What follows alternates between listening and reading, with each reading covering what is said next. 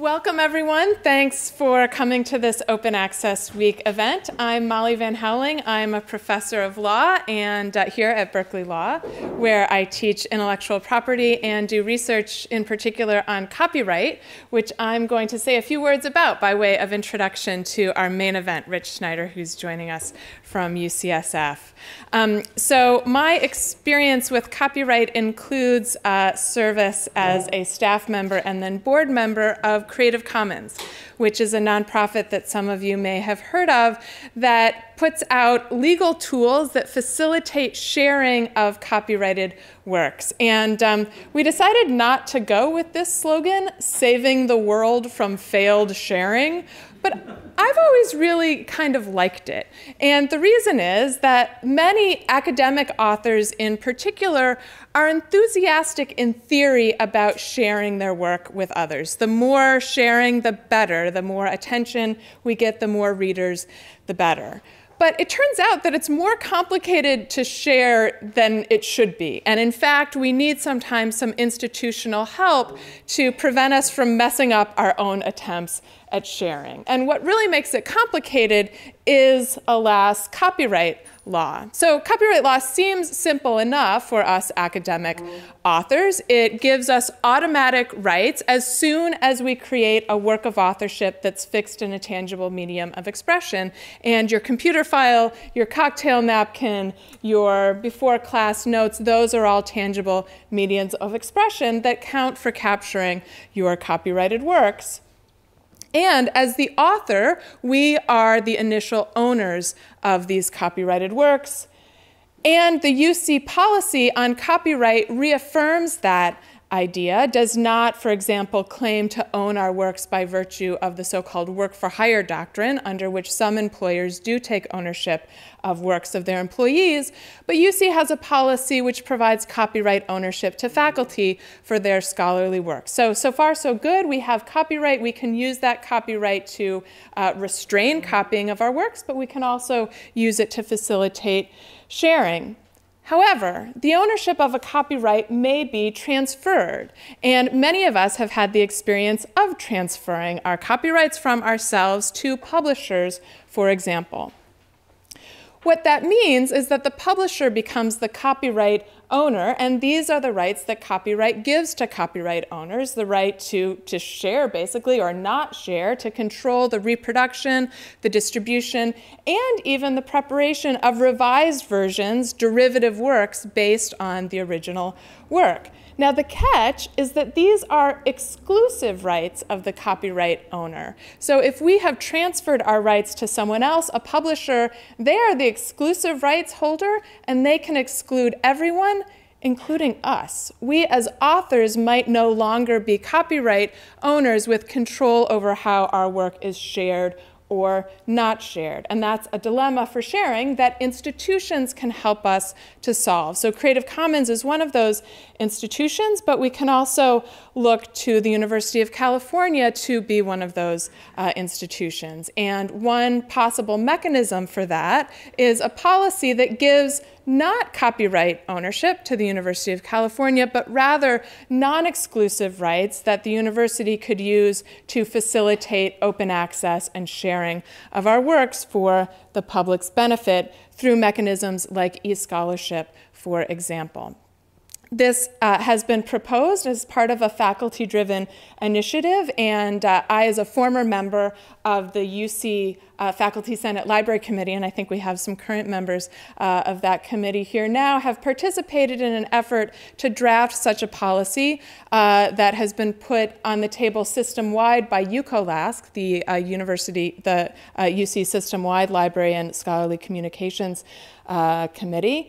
And uh, last year's library committee here at Berkeley, for some of the reasons I've suggested, uh, expressed its enthusiasm uh, in principle, although with some suggestions for the details for such a policy, explaining in our feedback to UCOLASC that such policies make it easier for academic institutions to disseminate specified scholarly output to the public in a way that is consistent with the preferences of faculty authors, but does not require the institutions to seek permission for each instance of dissemination. Basically, facilitating sharing by cutting down on transaction costs, by giving non exclusive rights to an institution in a way that does not interfere with our continued retention uh, of those rights. Or, frankly, if we insist on transferring those rights to a publisher, the current draft allows a waiver of the, uh, of the policy that would make that possible as well.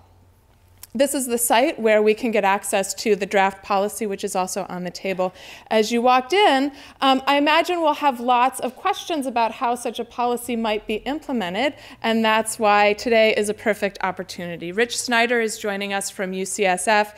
He has been chair of the library committee at UCSF and also of the system wide committee, and has been active in that capacity uh, in years of efforts to gather faculty momentum on open access policies um, with success this year with the unanimous faculty adoption of an open access policy at UCSF, which is almost identical to the policy that's now uh, on the table from UCOLASC. And so Rich is here uh, to tell us about how scholarly communication is being reshaped uh, at UCSF and potentially system-wide through this policy. He is a professor in the orthopedic surgery department at UCSF and uh, I think he's uh, ready to join us with um, lots of details and then lots of time, I think, for Q&A and discussion.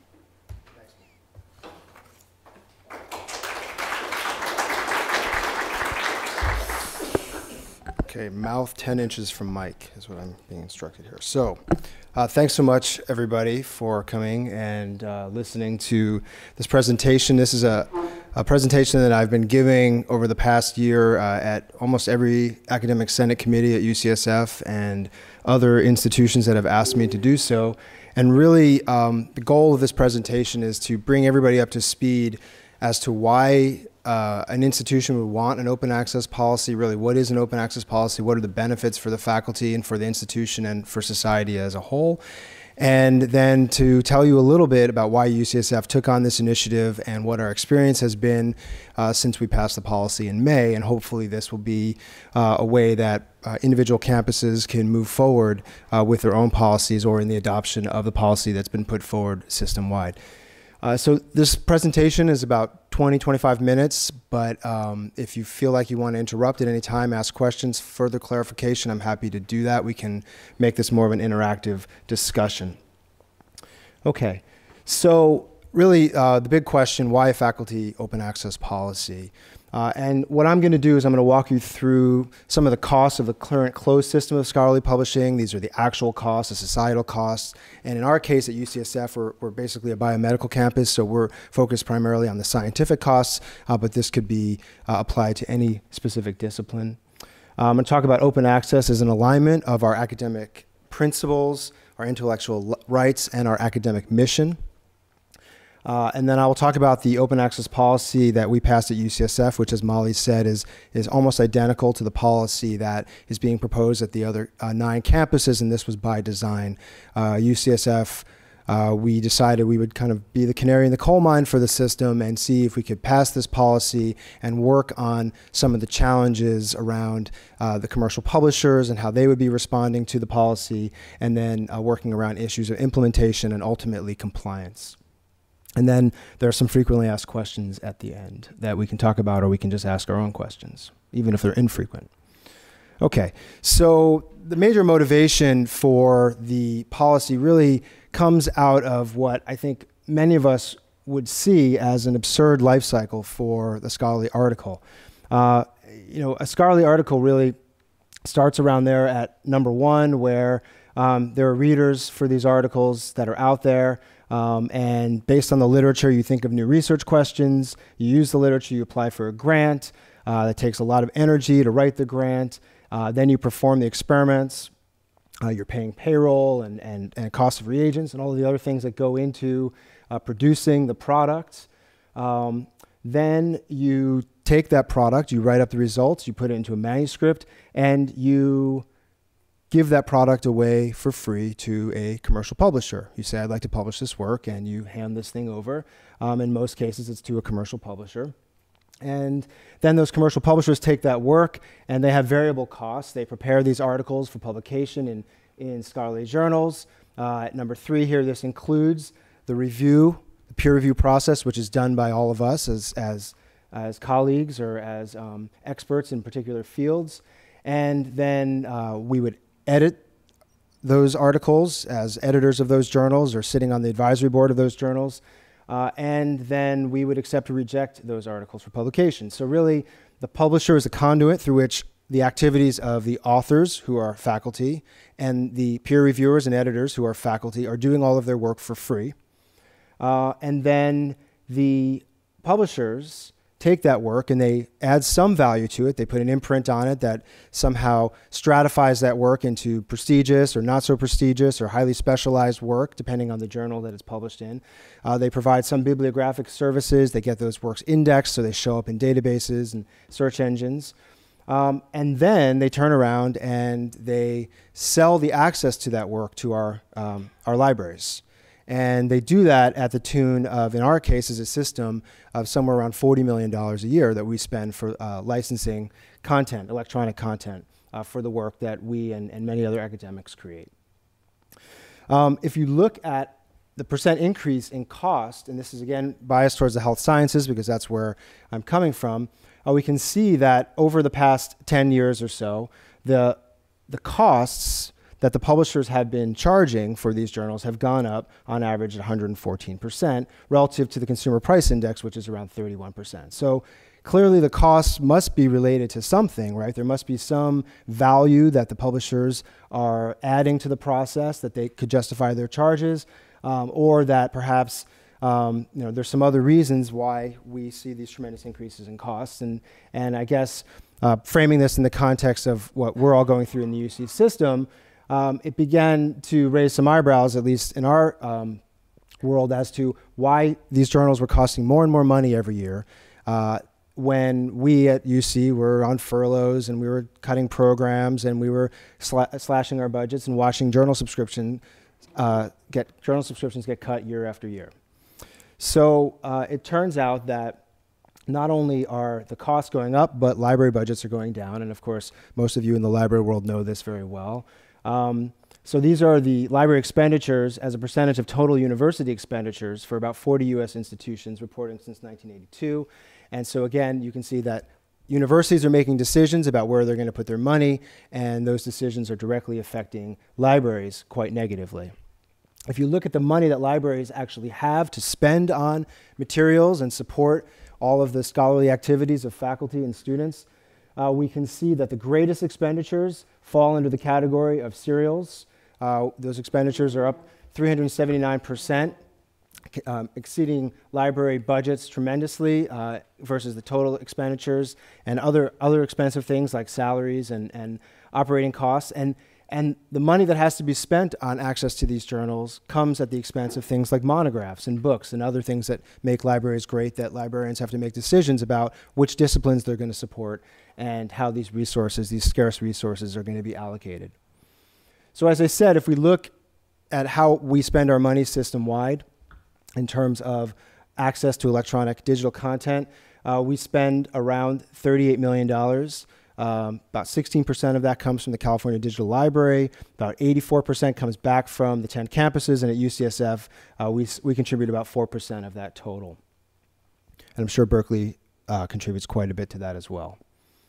So, despite the money that we're spending, uh, we keep losing access to content. There's more and more content out there that faculty want access to, but because of the budget situation and the rising costs, since 2008, we've had to cancel nine database contracts. Since 2008, uh, 600 journals have can- been canceled uh, in 2010 and 11, uh, including one entire contract with a major publisher, and we've got many more journal cancellations slated for 2013. So we're running out of money. There's more expensive journals out there, and we're trying to figure out a way to make this whole thing work so that we can get access to the content that we want. But if we stop for a second and we ask, well, how are the commercial publishers doing in all of this? We know how we're doing in this situation, but you know, what does it look like from their side of the relationship? Because clearly, the publication process, as I showed in that first slide in the life cycle of a scholarly article, is really supposed to be a mutually beneficial relationship where we get something out of it and the, and the publishers get something out of it because we're providing content and they're providing a service. So, based on the services that they provide, um, if we look at the top four publishers, Elsevier, Wiley, Springer, and Informa, and Informa, they made about $6 billion last year, or between 2010 and 2011, on their commercial pro, um, publishing enterprises. So many of these are part of large corporations and large companies, but they, their, their publishing divisions in case of Elsevier, had a 36% profit margin, Wiley a 42% profit margin, and so on and so forth. And you can compare this to other companies that we can probably pretty clearly see the value of what they add to the process of their business. And like Apple and Google, they have profit margins that are 24 and 27%. So how can we explain, and I would ask the commercial publishers, how can they justify, in the context of this partnership, profit margins and profits that are so out of whack with the reality of what academics are dealing with on a day to day basis in terms of their own financial situation. In addition to the actual money for licensing, we can look at what faculty authors add to the process um, and what they do for free. Um, so we, not, we don't just create the content for free and give it to them, but we also, like I said, provide the peer review, the editorship, the advisory board service. And if you take the amount of work that we contribute, say, uh, as, as an author to Elsevier journals, uh, we, con- we contribute about 2.2% of all of the content to Elsevier. Um, and if you just kind of ex- uh, you know, use those numbers and try and estimate how much revenue based on Elsevier's profit statements, that's about $31 million to their bottom line, uh, or $31 million in profits, about $9.8 million to their bottom line. And you could do the same thing for the Nature Publishing Group. UC authors contribute about 12% of all the content in Nature alone.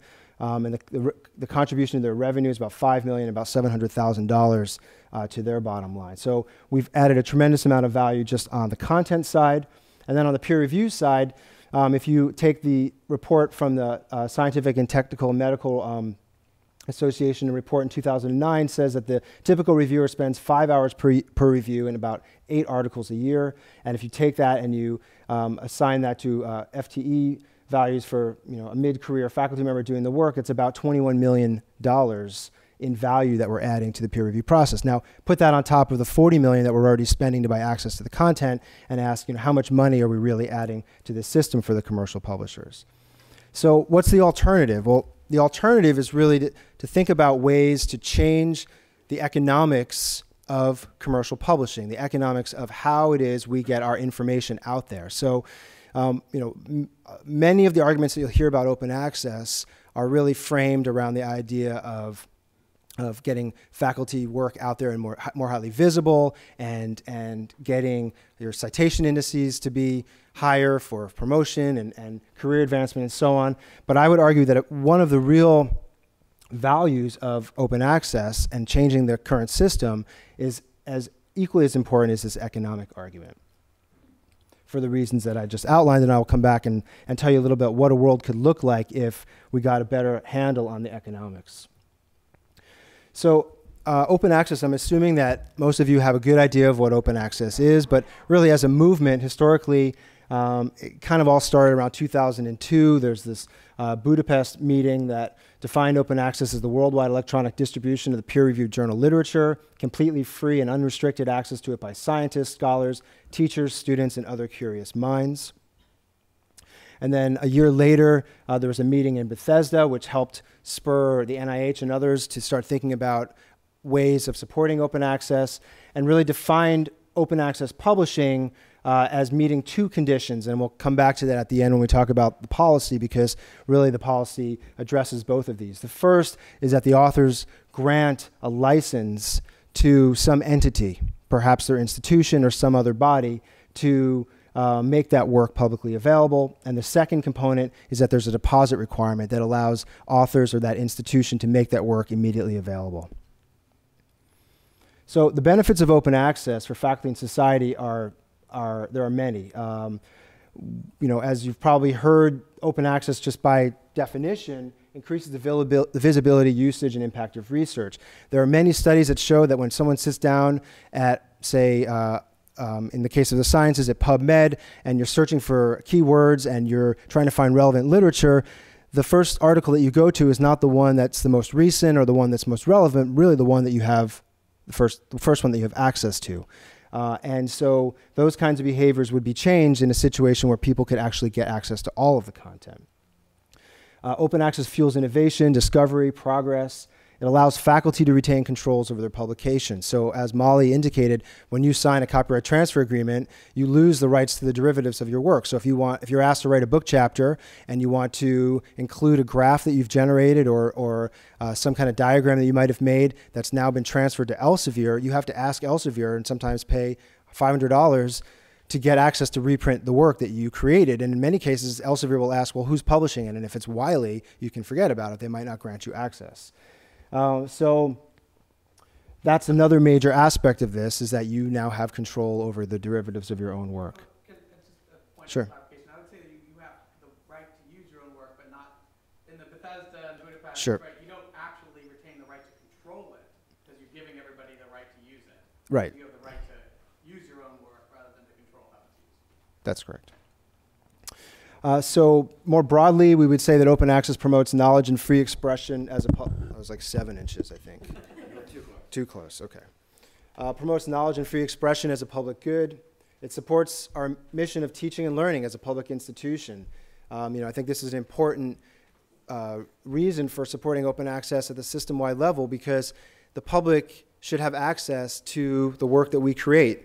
We hope there will be supportive of us through taxpayer dollars um, over the long term, although we know that's kind of up for debate right now. But uh, maybe part of the reason why the public is uh, not as supportive of UC as a, as a public institution is because they don't really know what we do. They can't get access to the work that we create. They don't have a good sense of the content uh, that is supported by their taxpayer dollars. And so open access would allow them to get access to that work. Um, and as I'll mention it, I think open access, the argument can be made, often offers potential savings for libraries and institutions as a whole. And importantly, as an economic piece, this um, new model can create free market forces and competition for publishers where currently there is no competition whatsoever um, in the negotiation of licensing and other um, access points for, for closed content. So, what are the strategies to achieve open access? Well, there are funder mandates for open access repositories, like the ones that the NIH um, has been pushing, uh, or in Europe, uh, Burroughs Wellcome and others. There are institutions. Excuse me? A funder mandate means that if someone is paying to support the work, they can make as part of the agreement to accept the research money that you will make that work freely available. And so NIH has this through PubMed Central that any NIH recipient has to make that work freely available and deposit in the repository. And you see that happening. CIRM, which is the California Institute for Generation Medicine, they're doing that with their work, and many other funders are requiring that that work that comes out of the grants be freely available. Uh, we have institutional mandates, which the policy at UCSF and the one that's being proposed system wide and here at Berkeley is an example of an institutional mandate. There are more than 140 of these worldwide. Um, there are society sponsored open access journals. Uh, there are fee based open access journals and fee based open access articles within traditional closed journals. So, I just want to give you uh, an example of one of these institutional repositories, PubMed Central, and how the content is being used. Uh, so, currently, uh, if you get data from PubMed Central, we see that about 40% of the users are the, are the general public, 25% of the users are universities, and about 16% of the users are industry. Um, and you know the university number might be particularly low because most universities are paying licensing fees. They're paying, they're getting subscription access, and they're not generally accessing content through PubMed Central. At UCSF, uh, we publish about 4,500 articles a year. Uh, about 3,500 of those go into um, into PubMed Central, and of those uh, 3,500, um, 50% are public access, and uh, about 50% of those are not public access. So the goal of this policy really is to get that other 50% available to the public to complement the PubMed Central. So NIH funding is a major driver of the research engine at UCSF.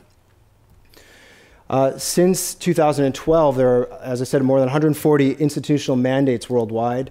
Harvard passed one in 2008, and Stanford, MIT, Kansas, Duke, Emory, Princeton, and UCSF in 2012.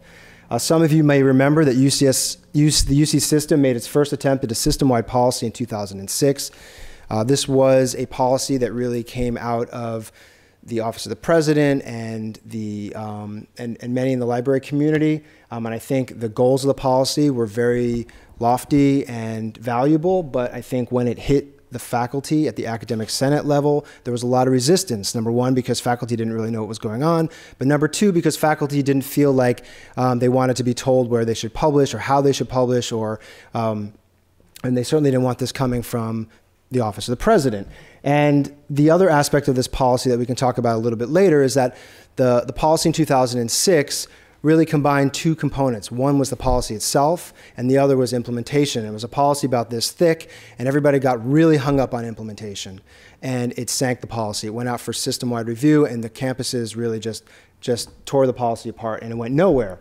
Uh, but then if you talk to the folks at Harvard, what they'll tell you is that UCSF's failure was their success. They looked at our policy, they analyzed the whole process, they realized what we had done wrong, and they, they borrowed a lot from our experience, and they were able to successfully pass a policy um, in 2008 and has done a really great job of, of creating a model policy that institutions can adopt. And that's really one of the things that we did was we looked at, at all these different policies and tried to shape one that would work best for the uc system uh, taking into account as many different disciplinary concerns as possible. So you'll hear a lot of concerns and myths about open access that there, there are effects on academic and professional societies um, that open access uh, really has a, uh, a, subpar peer review process, um, that it's a form of vanity publishing because generally you pay to publish, um, and that it's not sustainable over the long run. And, and so you'll hear these, these criticisms coming from a variety of sources. Uh, you know, ask yourself who is doing the peer reviewing for open access journals versus traditional closed journals. It's us, and whether you know I make a decision about the quality of work depending on whether it's in an open access or closed journal. That's that's preposterous, and I would imagine that many of you uh, don't pay attention to where the article is being published as much as what the quality of the work is that you're asked to review.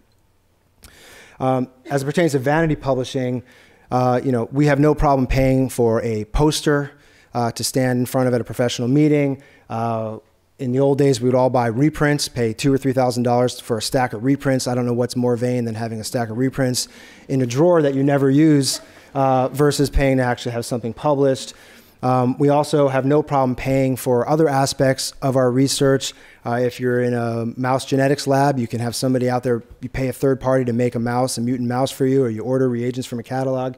Uh, so there are many parts of our research experience where we're paying for things. And what we're arguing here is that, at least in terms of open access, that open access is just a continu- continuation of that. You're paying a third party to publish the work on your behalf. And we can talk a little bit about that uh, in a bit. But there's some really interesting uh, theoretical data around what it would take to support open access worldwide. Uh, and if you look at the total amount of revenue that scientific and technical and medical journals generate from library subscriptions, um, it's around $9 billion a year. Okay, and then if we look at the amount of scholarly peer-reviewed journal articles that are produced every year worldwide, and we see that that's about 1.5 million dollars, or 1.5 million scholarly peer-reviewed articles, and then you take a open access fee, an average one for either Biomed Central or some of the PLOS journals, and you multiply that by the 1.5, you get a number of about two and a half billion dollars to support all of the all of the publications that are currently being generated. Uh, by switching instantaneously from a subscription model to an open access model. And of course, those of you who um, saw how much the publishers made will realize that the difference between what it actually costs and what the publishers made is all of their profits, the $6 billion in profits that they're extracting out of the system. Okay. And so, again, while we're not really saying that there is um, not a place for the commercial publishers, that they, that they add value, that the society publishers add value. We're saying, you know, we agree that they do. The big question is, is it that much value? Is it to the value, value the tune of $6 billion a year when we are all facing our own internal struggles and we are continuing to make choices all the time as, um, as faculty and, and working with the libraries about what, what journals we want access to?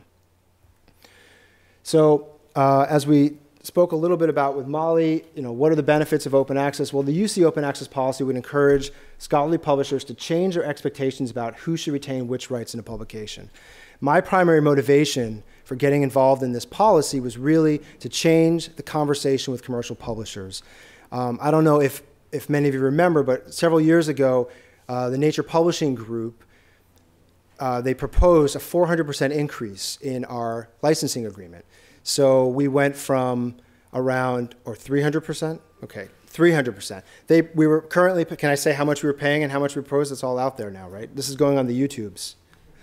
So anyway, um, they, uh, we were paying somewhere around $300,000 a year, and they proposed an increase of about 1.4 million in a single year for access to their content. And we said, you know what? We can't do this. We can't afford it and we don't think it's right. And so we used a technique that had been tried in the past with Elsevier and the Cell journals, the Cell Press journals, which was to threaten them that UC faculty wouldn't publish in any Nature Publishing Group journals, that we wouldn't peer review for them, that we would resign from editorial boards, that we would stop advertising in their journals if they didn't hold our subscription rate to a constant. And we also challenged them to sit down with us and discuss new ways of moving forward in publishing so that we could change the nature of the relationship. And I would say that over the two years that we've been in conversations with the Nature Publishing Group, what we've really developed is a working relationship with them where we can actually envision a future of uh, faculty and publishers working together as a collaboration in a way that's sustainable and mutually beneficial for both, both entities. But if you look at Elsevier, we could never have this conversation with Elsevier before this, before this policy. Um, you know, Elsevier has some of the most restrictive copyright transfer agreements, and they have some of the most challenging negotiating tactics uh, when it's time for renewing our licensing agreements. And so we really had no leverage with them. But subsequent to the passing of this policy, this summer we sat down at UCSF with five or six Elsevier executives across the table and actually had a conversation with them about moving forward in a way that we never would have been able to do had we not been, uh, come together as a faculty and move this policy forward. So again, it's about, for me, it's about changing the expectations with the publishers. It's the publishers now recognizing that faculty care about these publications, whereas before they just assumed faculty were a bunch of monkeys that would just sign their copyright transfer agreements and not pay attention to what happened to their rights. And now we're actually engaged in a conversation where we're saying, no, we do care about our rights, and we do care about the economics of the situation, and we do want our work out there, and we don't like the, the, the way that you're partnering with us or behaving in this, in this partnership. So, um, as Molly indicated, the current UC policy actually ensures that we all maintain copyright when once we create a work, we have the copyright. And that's different than other places like University of Michigan where faculty are work for hire and that work is, is uh, the copyright's held by, um, by the University of Michigan. So, you know, when we started doing this, um, the, in the original 2006 policy, uh, we were, I believe, transferring copyright to the regents, and faculty were very resistant to the idea of transferring copyright to the regents. It sounded scary, yet faculty were routinely giving up their copyrights completely to the commercial publishers who were managing these rights for profit. Uh, but again, the point of the policy is really that we would be granting a specific non exclusive right to our university and ourselves inherently in that uh, to disseminate our work rather than granting the publishers exclusive control over the publication. So here's the policy, and it's essentially identical to the policy that you've been uh, handed. And I, uh, so I'm not going to go through it, but again, the most important points here is that the policy um, is a non exclusive license and it is a policy that if a faculty member feels like um, it's incompatible with the way that they want to uh, present their scholarly work, it's, it's easy for them to get out of it. Um, one of the major criticisms of this policy is that uh, we've heard that it doesn't go far enough, that it doesn't have teeth, that the waiver that we have built into this policy is too easy for faculty to get out of. Um, in other institutions like Harvard and, and Duke and others, for a faculty member to get a waiver, you have to request a waiver from the provost or some office, and then that waiver has to be granted. In some cases, you have to justify why you want that waiver. Uh, what we have in this policy, because we believe this is firmly a faculty policy from the faculty through the academic senate, that if a faculty member wants a waiver, all he or she has to do is say, I want a waiver of this policy, and we've completely automated that process, and I'll, I'll show you how that works. Um, but even though we've built in a system to waive the license. What we're not willing to do in this policy, I believe, is waive the deposit requirement for a variety of reasons, and we can talk about that. Um, and the reason, to me, the most important is that it keeps publishers on notice that we are still, on some level, even though it will remain a dark copy, maintaining control over our work.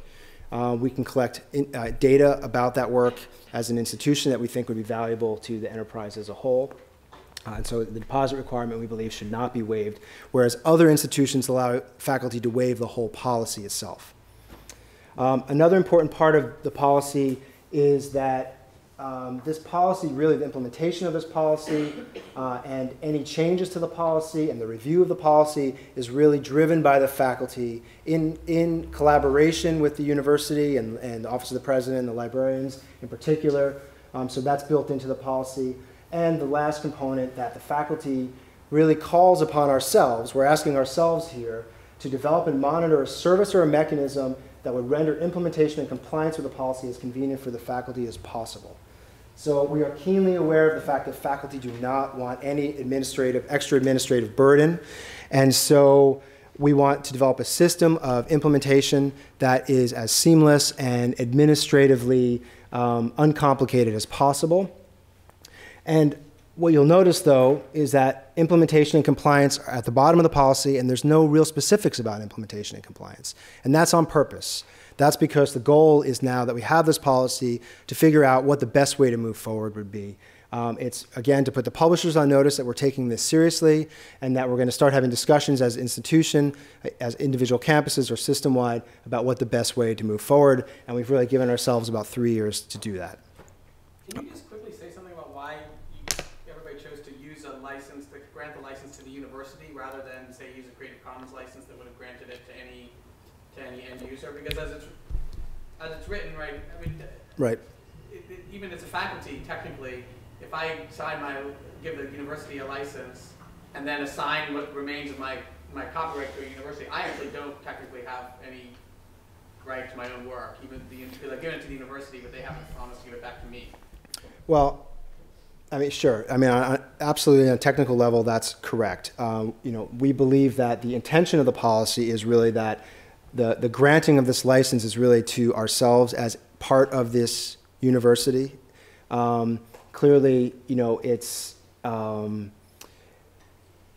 it's uh, it's it's in the best interest of the university to protect these rights for the faculty and to act in a way that's in their best interests. So, you know, I don't think that the, um, I mean, yes, there were other ways that we could have moved forward with, it, with a different kind of license, uh, particularly, you know, like you say, through the Creative Commons licenses.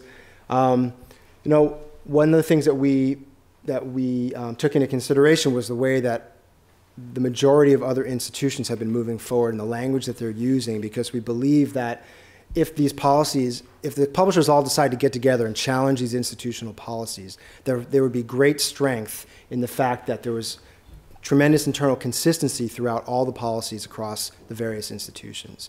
And so, um, in particular, like the Harvard policy just went through pretty extensive legal review and was found, um, and it was internal legal review, but it was still found to be, um, you know, to set up some really interesting uh, um, situations that would protect the, the policy itself. Sorry? Don't touch the button on the mic. Okay. Pass it off for me. Sorry. I think it was my water bottle rolling back and forth. Rich, can I jump in? Sure. And also for other questions, I will run around with the microphone so that we can all be part of the um, videotaping apparatus. Um, so I just wanted to respond a little bit to the question to point out two things. One is that because the license to the university is non-exclusive, it's not inconsistent with individual faculty members also licensing their work on Creative Commons or any other terms. Um, and then I think it's very valuable for institutions to be able to steward our works and be a one stop shop for people who want to come and see if they can have permission to do whatever inventive thing they want to do with the work, as opposed to relying on the terms that individual faculty members have put forward. So let's say we all license on some Creative Commons uh, terms, but someone wants to know whether they can go beyond the terms of the Creative Commons license.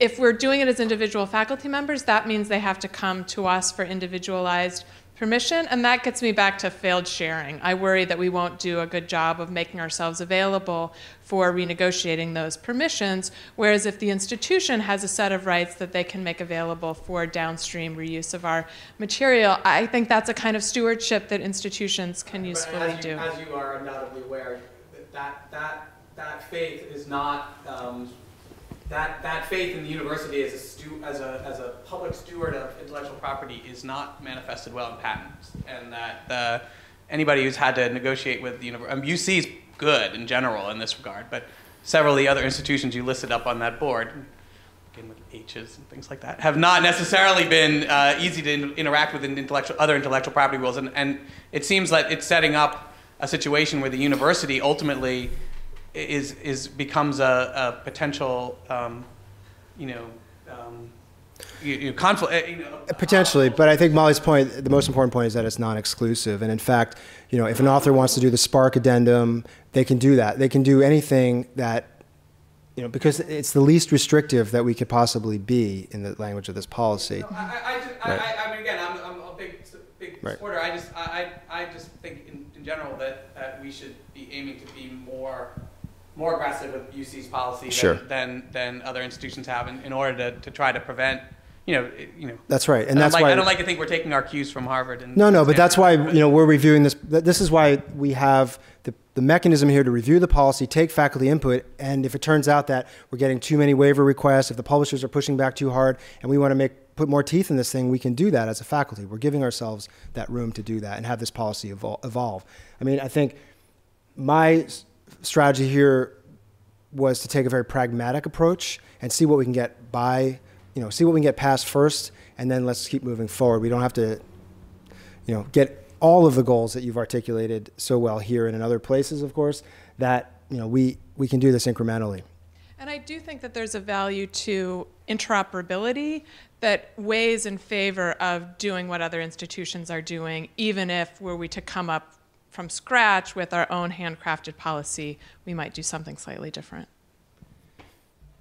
Okay. Uh, are there other questions about either some of the kind of context for the open access policy or the policy itself?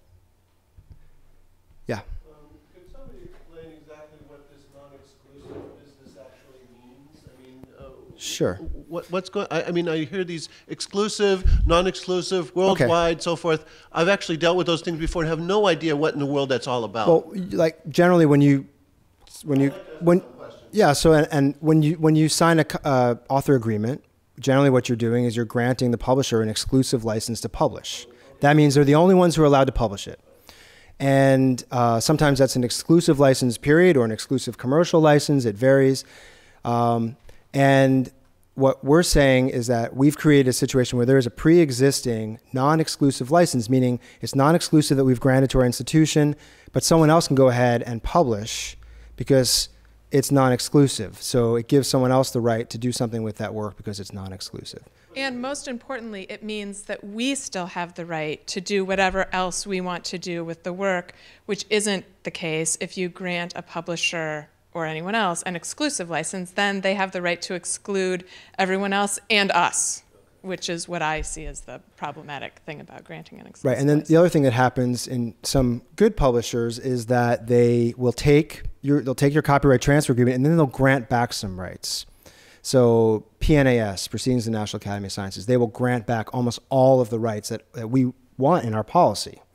Yet they won't actually they're asking us to sign waivers because they've requested an exclusive right to publish and they see this deposit as publishing. So um, you know, there's still some nuances in, in the way that this policy is being um, is being um, the, the way the policy was developed and the way that it's being viewed by the publishers that still need to be worked out. And there are other examples of publishers that grant back rights.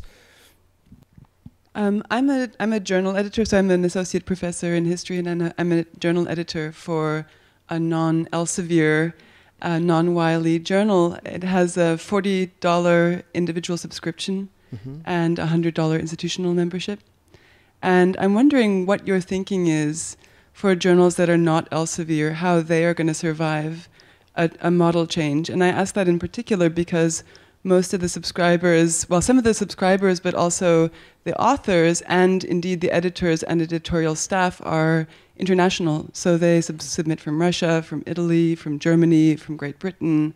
And if we're talking about a model where ideally we transfer um, costs to authors, mm-hmm. how do we, what is your thinking about how international journals recoup um, money from international authors who might not have access to you know, generous grant uh, structures like we do in, in, the United States. So, what, what, what is a model of survival for a small journal like mine that runs on a shoestring and doesn't have, you know, the backing of an Elsevier to, to, to see us through? Right. Uh, that's a great question, and it's a complicated question. The math um, doesn't always work for some of the small journals, small societies that rely on revenue. Um, we know that a lot of societies, um, small societies, have kind of moved to the dark side, and they get a big check every year to have one of the big publishers publish their journals. Um, we know those big checks don't come from anywhere else other than our libraries, and so um, you know, they found a solution that works, but it works for them, but it's really part of the problem for us. But then for really small societies that have these operations, as you say, that um, rely on subscriptions, well, it's possible that a subscription model might be the most appropriate for those kinds of journals. It's not like you guys are out there making $6 billion a year in profits. You're probably just making enough money to support the journal and perhaps have an annual meeting or something like that. But it's, you know, it's probably much more in balance and in line with the way things used to be and should be. Uh, and you know, so it's not necessarily one size fits all. It's this, this, policy is really designed to kind of change the dynamic for the majority of journals and and for the majority of publishing, but there will be many instances where it won't work. And we've got a waiver built in for people who feel like either they don't have resources, um, they don't want to publish in open access, or they don't think that the policy works in their discipline. Um, and again, this is only a temporary fix. There needs to be a strategy that would support. Um, you know everybody moving to this model, but also um, institutions if institutions are no longer taking their $40 million a year and putting it towards licensing, and those resources, even half of that amount of money, put back into disciplines that don't have extramural funding uh, to support the publications by those disciplines, that might be a way to offset the costs. Sure.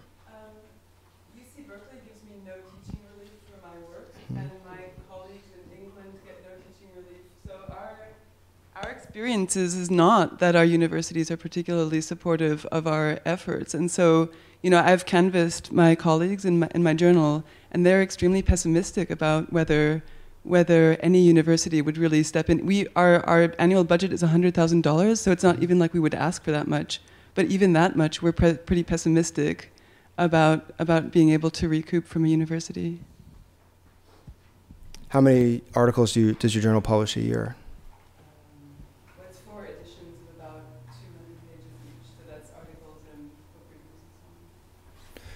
Yeah, I, I, I, like I said, I mean, I, there's going to, there are going to be situations, and and I don't necessarily know what the best answer is for that. Like I said, the policy is really designed to kind of take on these large entities that have been um, gaming the system to their own advantage, and and some of the smaller entities, you know, I think have to be we have to come up with a strategy that's going to work to support them. I think they play an important role in all of our disciplines. We all have small societies and small society journals. Um, but the policy itself doesn't it, it, it doesn't negate you know the ability of your journal to su- survive with the same traditional model that you've been using. So the idea is that the library would continue subscribing to journals in the long term, let's say in the next 50 years, as opposed to, and then just renegotiate relationships with Elsevier and, and Wiley Blackwell. Is that the idea? Well, no. I mean, I wouldn't say 50. I'm not going to predict out 50 years, but what I'm saying is that that the way that it currently stands, the libraries have limited resources, and the hope is that some of these resources could be freed up to make decisions about what they want to invest in, what journals they want to support. Right now, the way that they are supporting journals is simply based on usage and some other criteria, but usage and impact factor, you know, everyone needs to have certain journals at their campus. And if we can get those journals to move away from subscription models, and libraries have more resources to support disciplines that are emerging or smaller societies that need support, then we can reallocate resources to places where they really should be going. and you know your university librarian would have more resources. I know Berkeley's done a great job of providing some seed money for faculty who want to publish in open access journals. Um, right? I mean, you have a program in place to do that, and faculty can apply, and it's need based. And um, you know, there are mechanisms in place, but ideally, it would be great to get more money into those types of situations for folks who don't have extramural funds. One thing that I think is a little unfortunate about this debate is that these policies tend to be referred to as open access mandates, but they're not such a super strong mandate in that this one, for example, has this automatically available waiver possibility. And also, as to anyone, it does not mandate what your publication outlet will be. It just puts in the background this license to UC to use your work. And if that use is inconsistent with the publishing model that you favor, then that's what the waiver is for. And I, I just want to add something to that, which is that, that it's in really, I mean, one of the, I mean, I'm a big supporter of faculty initiatives in, in this regard, but one of the things that, that comes up from thinking about journals like this is for me that, that we also really need to put a lot of pressure on the university to rethink its role and how it can encourage effective scholarly communication. I think, for, you know, one of the things that's, that's astonished me in years, and I, will just say, uh, just to introduce myself, I'm, a, I'm a, Michael Eisen, I'm a professor here, but I'm also one of the founders of the Public Library of Science, which is one of the big open access publishers and a nonprofit that's a publisher in biomedicine. But I've been really astonished at just how, I mean, really honestly chicken shitted the universities have been in their response to to publishing in that you know they demand of their faculty that we publish they evaluate us on the basis of, of publication and yet their engagement with the publication process has been has been you know astonishingly wimpy i mean they don't they don't really reward faculty for participating in the production of journals. You know, they you know they don't give teaching relief. They don't really give you much credit for doing that in any sense. And I, I would hope that one of the things that we do as in addition to coming up with these policies is really you know going after the institution as a whole and the university to try to encourage them to, to think about how they're spending their money to support publishing and, and not just in terms of giving money to authors to pay for journals, but really rethinking the importance of individual scholarly societies and, and, and, and individual scholars in, in, in producing scholarly output. And, and so it, it would be great if we could figure out a way to embed, embed that in the efforts that we're using around these. Yeah, I think that's a great point, and I, I think a, a, really good example of that would be eScholarship, which is something that the university has been investing in as a platform for publications. There's something like 57 journals or so that are currently being published through eScholarship, and um, you know, if you have a small society and, and it's very expensive for you to publish, and you want to move to a digital platform, is your is your scholarly journal published in print or? Yeah. If you wanted to move if you wanted to join the rest of us in the 21st century, then um, we. Okay. Then um, you, you know, a platform like eScholarship has a really low unit cost per article, and they provide tremendous infrastructure and resources. Um, and you're going to be handing out business cards in a little bit, Justin. So. Um, it's a great way to do exactly what uh, Mike just said: is to start thinking about you know, the whole picture, the whole landscape, and not just the scholarly article itself, but the whole process of publication and that whole life cycle of the scholarly article and what our place is in that life cycle as faculty. So we have some more people in the queue. Rich, I know you also have some more information. I've got about just like two or three more slides. I don't know how much time we have, but what I wanted to do, we can ask some questions, and I wanted to just show you how we've been implementing this at UCSF, what the workflow looks like for a faculty member, um, what kind of inconvenience you might have as you move you know, and you as you go day to day and, and how this policy would affect you. So. Okay, so why don't, okay, don't I'll just do that. We'll, um, so what we've been doing, like I said, you know, we, UCSF kind of set ourselves up to be the uh, guinea pigs for the experiment here. And uh, we've been working with uh, the CDL and uh, Catherine Mitchell and others um, to develop a, um, an interface so that faculty could uh, implement and comply with this policy. Now, what this is, this is at the um, Office of Scholarly Communication website, which is, doesn't really exist anymore, but it's part of the University of California Office of Scholarly Communication. This is a, a drop-down menu, which you can imagine would be any campus. Faculty member would come to this and deposit an article. Um, if you wanted to, if you were asked by your publisher to um, apply an embargo period, you can do that here with your article.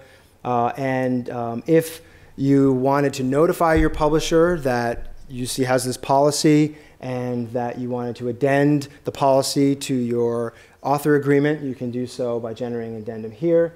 Uh, but if your publisher asks you for a waiver, uh, then you can select the waiver option here. And generally, what happens is you submit an article to a journal, and then you get an email from the journal. And this has been happening now for many journals, and I'll show you the list of uh, that I printed out this morning of the journals that we've been getting waiver requests from. And what the publishers are doing, they're saying, um, you know, congratulations on your publication, and uh, you one of your authors is at following one of the following institutions, and it'll say Harvard, MIT, and and UCSF, and then it'll say um, because of your your institutional uh, policy, we need you to request a waiver in order to publish in our journal, and they'll embed the link to this page right in it to make it as easy for faculty as possible because they know if they don't do that, they'll never get the waiver, and they want that work, right? So it's kind of the last opportunity that we have to have leverage over them, and we still hold the article that they want. So we, um, you click on the waiver button, and then what happens is you get this waiver form where you put the article title in and then you populate it with uh, your name and the journal and the publisher. We collect some discipline specific information, your email. You upload either the publisher's final version, if that's allowed, or the author's final version, which is the one that's gone through peer review before it's been typeset. You upload the file and you hit submit. And then what happens is you get an email, a confirmation. Um, I get this just because I don't have enough email coming into my inbox. Uh, I get a copy of all the waiver requests. There have been like 95 or 96 of them so far. Um, and here's a waiver uh, by a colleague. Uh, it was published in uh, Journal of Nature. Um, it came in a couple days ago. Well, actually, this one's from last month. I got one that, on my other computer that I thought I was going to show you that is from uh, a couple days ago. But anyway, you get a link to the uploaded file, and we've got the waiver. And um, I would just want to switch computers because what I want to show you is what the waiver requests, the kind of waivers that we've been getting. And um, is that okay if I switch right now? Yeah, while you switch, Rich, I have a question. So this would be going into a dark archive, right? Because right. it's attached to a waiver request? That's correct. So what can you tell us a little more about what that means? What happens to works that are deposited when a waiver is um, Great question. Right now, all that happens is they probably Two of us have that question. they probably just Nice URL up there. they, they probably well, just yeah, that's sit. where does that go? Somewhere dark, I guess. It goes somewhere dark. It's there's a uh, trash bin somewhere in Catherine Mitchell's office that no, she prints them out and then throws them away. No, they. Um, I'm not exactly sure where they go right now. What we haven't really done is developed a, way, a seamless way to deposit them. But Justin, would Justin, you want to explain what happens to the dark copies at this point? So at this point? Because At this point, they should just be going into Merritt, which is our uh, system-wide repository service, and they have no access available. Um, the keyed link probably allows the author to have access to that copy, but it's not publicly available. Which some of us who can't even manage our own files on our own computers would find handy. Uh, to have another kind of institutional stewardship is to just save our stuff for us, which is a partial answer to the question why on earth would we deposit if we're not going to be granting permission to give open access because we've put in for a waiver? Well, this is one reason that it's handy to have an institutional keeper of our files. Um, and I mean, you may have heard, and Tom can tell us the details of our participation in the HathiTrust, where uh, the library is a steward of digitized versions of lots of other people's books that are in our collection. It would be nice if we also could be a steward of our own work, even if it's not available for open access. It would be nice for it to be available for safekeeping, for preservation, for um, archival access sometime in the future when people are interested in the collected works of us and the copyright has expired, and it would be neat for our institution uh, to have access to that. So this is uh, the deposit stuff is something on which I think reasonable minds uh, could differ, but that's. Uh, I just would also add, I mean, it also allows for opportunities in the future should negotiations such as the ones that Rich have mentioned uh, progress, and the, and and then all of a sudden we can make the article available. Uh, of course, then we can send an email to the author and say, hey, you know, the we've had some success with contractual negotiations. We believe we can make this available now. Would you, you know, could, could we have your permission to do so? So there's lots of opportunities. two reasons why you should do that. What are the other reasons? The reason why I asked that question is, the following. What, what, guar- what guarantees do we have that these dark caves, whatever they're called, are dark? Uh, it's, it's not a concern of mine, but it is a concern of many of my colleagues who have what are called uh, articles that have embedded copyright material, which can be extremely uh, expensive and difficult situations. If that material ever gets out, if your cave has even just a little ray of light shining in it, these people could potentially be in very, very difficult situations, which would cost them a lot of money and a lot of aggra- aggravation. The question is number one, how dark is the cave, and how do we know that nothing will ever get out because Pandora's box was supposed to work the same way? But secondly, in the unlikely, hopefully, event that something does get out, what is the university going to do to protect the person who violated somebody else's copyright? Molly, you take that one, right? No, I mean, I- I'll just say, I mean, the, one of the benefits I, I would argue for the policy is that it's an institution-wide policy, that it's no longer a relationship, an individual relationship, and that we are all acting in good faith. We are submitting with a policy that is supposed to be, you know, dark. The copy is supposed to be dark after the waiver, and we're acting in good faith. And if the publishers want to come after an individual, um, I think I would hope the university would protect them on their behalf because of the policy that is in place. Not, you know, I, I think you have much more exposure now as an individual faculty member than you do before this policy. And you talk to people about their, their own behaviors of putting PDFs of their publications on their website. You tell them you're not allowed to do that. And they say, What do you mean I'm not allowed to do that? And they have more exposure doing that. And this policy really helps allow that kind of behavior to happen. The other thing I will say is that in the context of, so this HathiTrust activity that I referred to has been the subject of a copyright infringement lawsuit by the publishers, and one of their arguments was a concern that the dark archive, just used for data mining and searching and so forth, uh, would would become undark. And for what it's worth, the court was not convinced that those were serious enough concerns to undermine uh, the ability of the institution to do that dark archiving for a variety of what the court thought were clearly socially beneficial purposes. But it did come to a, a copyright battle in court. Well, that was a copyright battle in no, court. I mean of an individual. They would either be there as an individual, and or they would be supported by the university.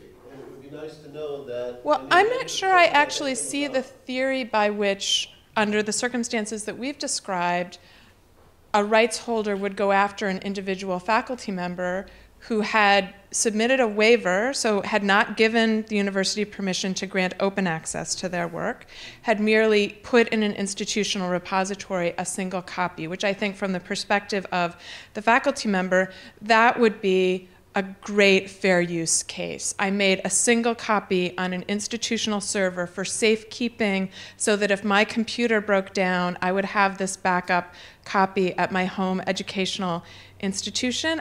I, would take that case. I'm actually not a member of any bar, so I shouldn't say that, but.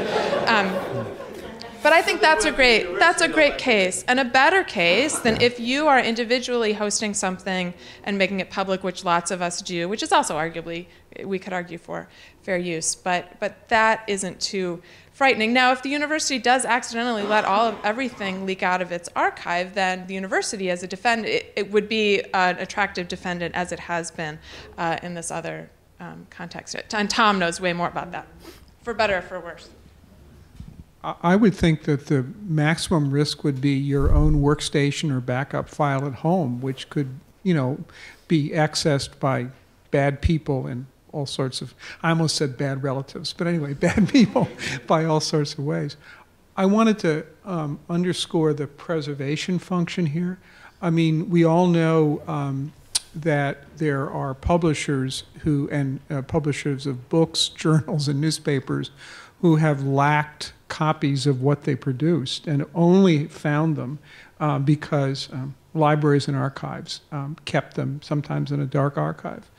And of course, it's true for documentary and other filmmakers.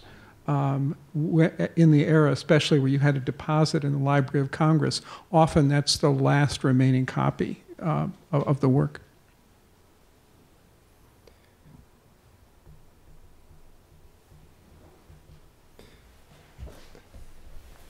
So I just had a question about, um, can you, two questions. One is uh, you talked about potential pushback from publishers and what you're seeing about that. And the second thing is, um, what about publishers who now they're now they're extracting from libraries, but they could just switch the model and make the entry fee for open access higher and higher and higher, and just foisting foisting True. it on the individual, and then we're trying to get more from our grants to Okay. cover that. Those are two great questions. Um, so, in terms of pushback from publishers, uh, what we had heard from places like Harvard and MIT is that they were seeing about a five to six percent waiver request rate from publishers. Uh, and we're seeing almost exactly the same thing. These are all of the waivers that have been requested at UCSF uh, since the policy was implemented on uh, May 21st. Um, and you know there are many journals that you would expect. Lots of the nature journals, many of the specialty journals, PNAS um, is up there quite a bit.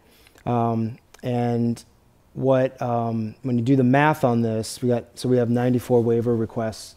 Uh, when you do the math on that, it comes out to be about five percent. We we um, like I said publish about 4,500 articles a year at UCSF. So um, that means that 90. Uh, like Yeah. NAS and nature, yeah. pretty much. I, I should tell you, you know, I- it's very intimidating sitting on the receiving end of these emails at UCSF when I'm watching all my colleagues constantly publish in these journals. um, but the, um, yeah, so the, um, that means that 95% of the publishers are compliant and they are okay with the policy, and that's a really good sign. Um, it means that we can go and get all those articles from all the folks that are publishing and put them in our institutional repository or that they haven't noticed. But we've sent we've sent formal uh, notifications to well over 100 publishers. We we have a list of like 200 and something publishers that we are notifying of and, and societies that are notifying of our policy, and presumably that is sufficient. Uh, that that formal notification process is sufficient uh, to allow us to continue to uh, sign the author agreements and but argue that we have a pre-existing license that we've notified you of. So that's point number one. Um, and then point number two, really this question about um, as publishers shift from the subscription-based model to open access, um, how, what's going to control costs? And so, you know, one of the interesting things that came out of our discussions with Nature, uh, we were really pushing them to move towards a um, author, institution, or funder, funder-supported business model versus licensing. And they said, we can't do that. We can't afford it. Our unit cost is really high. You can actually go through public records and calculate their unit cost is somewhere around $30,000 per article.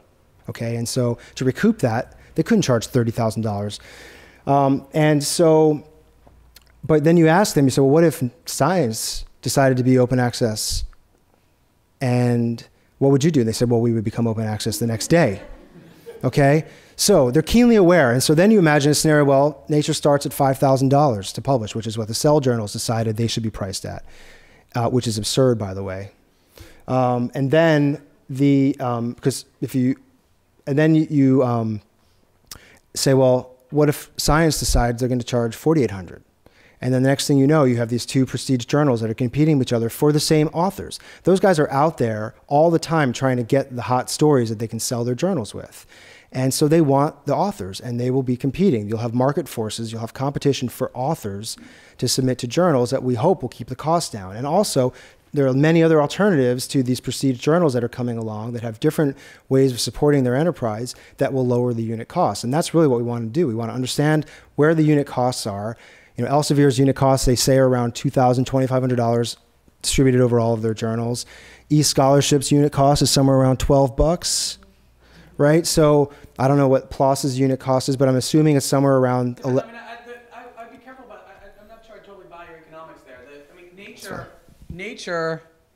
The, the problem with the unit cost argument is that the real cost for nature of publishing your article is in rejecting everybody else's That's article. right. And that the the it, you know we've done looked at their economics pretty closely, and I think uh, you know science and nature probably do have a cost of about twenty thousand dollars per published article. Sure. And they're if they, I mean, I, I think it's ridiculous, and I think it, their whole model is ridiculous. But the but the you know the forcing them into an open access model would, would force them to change the way that they function, which would be a good thing. Mm-hmm. But it wouldn't. It wouldn't. It's not really compatible. You, you can't have a you can't have a publisher that rejects 95% Sure. of its submissions or 98% or whatever their number is, and then ask the published authors to bear the full cost of that. So they'd probably do something different. That's Their- right. Their, unit cost is salaries to editors primarily, and who are Right. mostly involved in rejecting. They have most 500 in-house editors. They travel all over the world. They've got offices all over the place. And you know, we had hoped that they would be open to the idea of submission fees. And if your article gets accepted, you deduct the cost of the submission fee, but it would really help generate a lot more revenue, lower their unit costs, and and create, you know, I I think what they're probably moving to is something PLOS and other publishers moving to is a, a world in which they don't they don't reject and then lose the articles that you you you know that the you're paying to have your articles reviewed by the journal and then they stratify them you know some at the high tier some at a lower tier and that they don't they don't it doesn't force the burden of cost entirely on the That's right. on the accepted authors but it's, it's sort of a submission fee right. Rich, does this include embargo requests? Uh, no, these are just full waivers at this point. Do you have any data on how many embargo requests? Mm, no, I'm not sure we do. Can I, can I ask just a very te- quick technical question about that? Is it automatic? I, I, is, do faculty governance rules mean that if I publish a paper at UCSF, whether I go to the website or not, right? So, so there's a, probably a large fraction of people who don't go to the website either to request a waiver or to deposit their work. Right. Does the license to UC apply irrespective of whether they deposit the article? So even if we don't, even if UC doesn't have a copy of the work, do they still have a right to to distribute the, the work even even in the absence of having a physical copy of the Does who have the right? The does UC have this Yeah. non-exclusive license Yes. irrespective of whether the faculty does anything Yes, active to promote it. yes, okay. that's the benefit. From my point of view, that's the benefit of the policy. For those faculty who want to do nothing, and I'm not advocating this, but for those faculty who want to do nothing, they don't have to do anything. If the publisher never contacts them and says, "Give us a waiver," um, and accepts your author agreement that you sign and give to them, and you don't do anything, then the policy can live in the background. We hope that people will comply. We hope that people will see that it's in their best interests to have their content come up in Google Scholar and other places that, you know, when the, when the, when the repository is robust and everyone sees the value of a large UC eScholarship repository with something like 50,000 articles a year, which is our productivity as an institution, in that repository, that's going to be a tremendous um, opportunity for UC. So I think it'll start to sell itself at a certain point. Yes.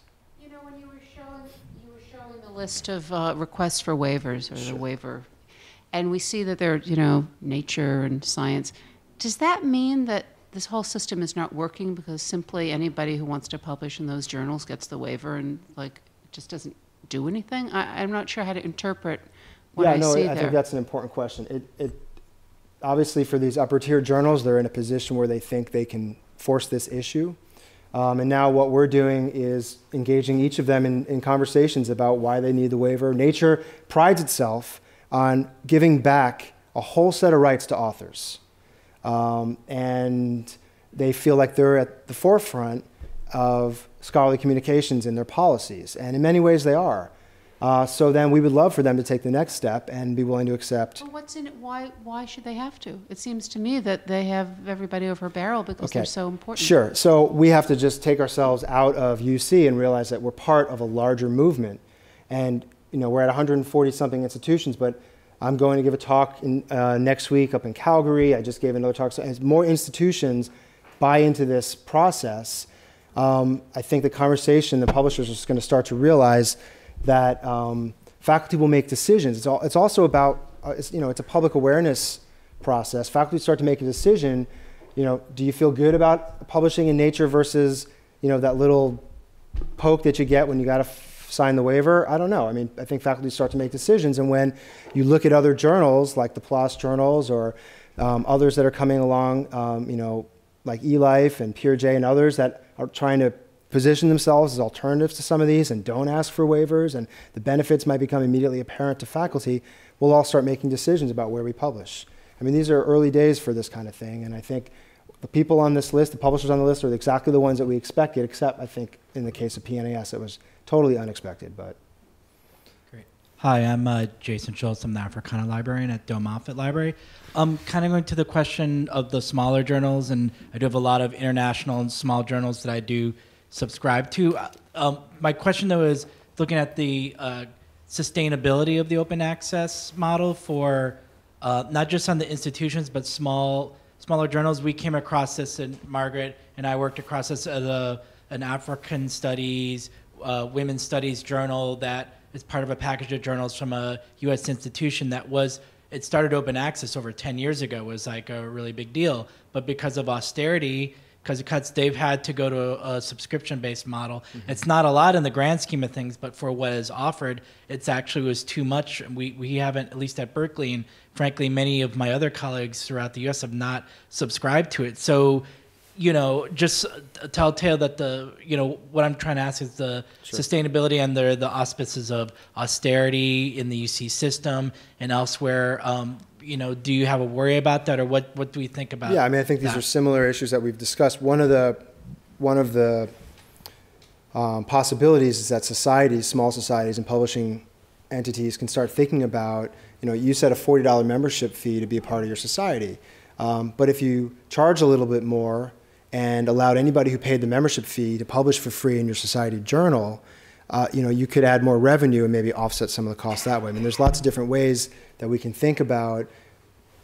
how the society journals support our scholarly activities and how we want to support the, the scholarly societies. I think, you know, there's going to be lots of different experiments out there in terms of how individual societies manage these problems. Um, and, you know, I don't think there's an easy answer, but, um, you know, I, I, I don't know how you would respond to the argument that $40 might be too low if part of the function of the society is to support publication of the scholarship. And, you know, so I don't know. I know the goal is to get as many members as part of the society, and you have graduate students and postdocs or whomever as part of the society, and so you keep membership fees low. And I've heard this from other societies, but, but thinking about the, what the role of those fees could be in supporting publications is another way to move forward as well. Yeah. Um, have you heard any anecdotes about um, someone receiving a request for a waiver and saying no? Um, no, I mean, I think from our point of view, the um, faculty at this point, for the most part, don't. Some of them don't even realize why they're being asked for a waiver. To be honest with you, um, you know, they're getting this in the middle of all the other stuff that they're managing, and um, but other faculty, yeah, I, I, think they're annoyed by the fact they. I've had several people ask me why PNAS is asking for a waiver. That's they picked that journal thinking that it would be because of their liberal author policies. Um, yeah, I think faculty are starting to question it. Um, again, this policy is really new, and um, you know we haven't done a lot of effort to talk about implementation and compliance because we've left that for the next year or two years as we start getting input, as I start going, getting feedback from people about what they need to, to implement this effectively. And I think at that point, we probably would expect more faculty to start questioning and, and offering resistance. So. I mean, it's really obscene that the university has left this creative situation, which is a tension between libraries and people making, you know, scholars trying to communicate their research over $100 subscriptions a year.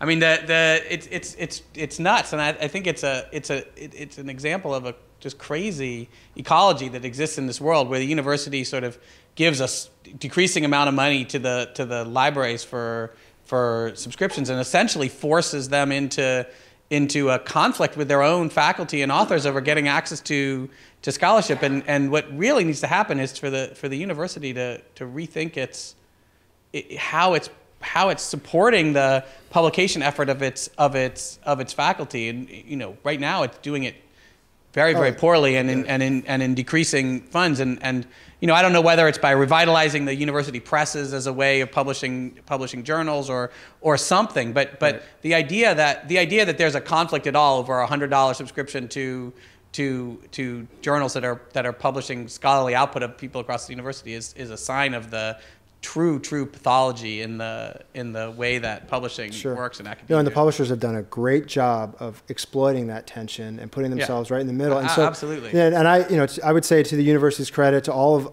our colleagues are, who, you know, in the libraries and and other places throughout the institution, you know, I think everyone recognizes that now, and I feel now the university and the faculty are much more aligned in a common goal And I, you know, in, in all honesty, it's really the faculty coming up to speed to where the librarians have been for the last 10 years or so. I mean, the librarians have been out, like, you know, they were writing So- about this 30 years ago, and the Right. universities have more or less ignored the, have Um, and the I, and I think that the strongest face forward to the publishers will be the faculty and the universities sitting side by side and trying to get them to play, you know, play nicely in the sandbox.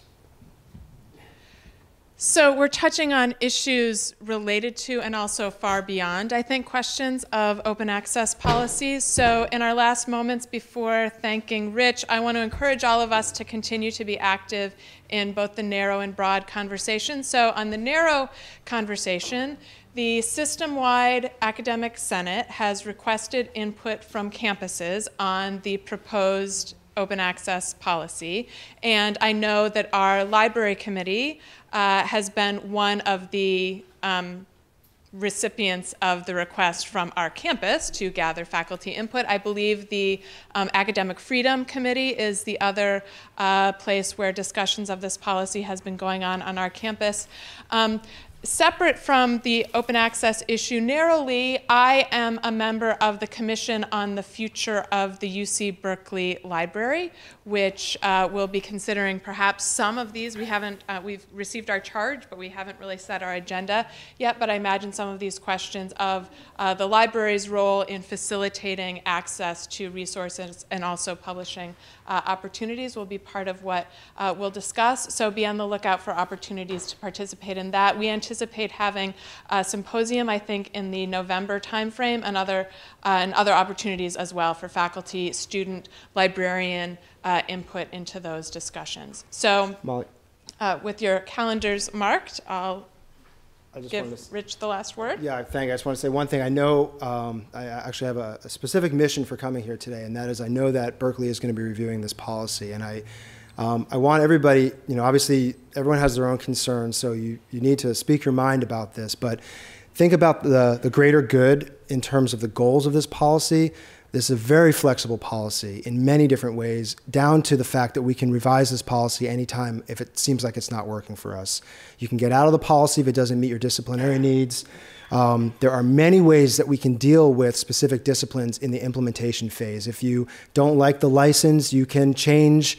We can have different boxes in the implementation phase to meet all the needs of the different constituencies. If your work contains previously licensed content, we could have a box that you check on the implementation side of things that excludes that work. There are lots of things that we can do. We can work together as a faculty on the implementation side.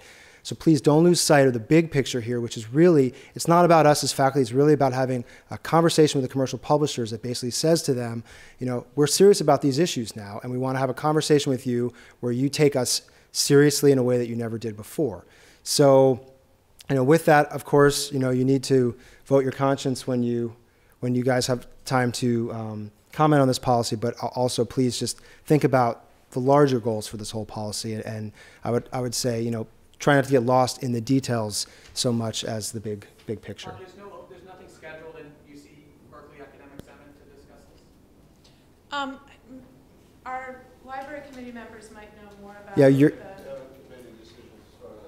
But you have, you, you basically, have you been asked, have you been asked to review the document? And then there's a review period and then it goes back and then it's going to council and there's going to be a whole process. So, um, I mean, the alternative is that if it doesn't make it through system-wide, then individual campuses have the ability to pass it. And what you'll see is probably campuses like, I think UCLA would most likely be the next, and there's several others that are very strongly for it, like UCSF was. Um, and you'll see a patchwork of individual campuses adopting a very similar policy, which is okay. It's better than nothing, but it's not as great as it could be if the entire system was able to move this thing forward. Rich mentioned, and I think he was one of the masterminds of the seed of this idea originally at UC, which then inspired lots of our peer institutions to take the ball and run with it. And, um, and uh, I think now we have an opportunity to learn from their experiences and, of course, to learn uh, from experiences close to home uh, with UCSF's uh, early action here. So let's thank Rich for coming to share all of Thank that. you. Thanks.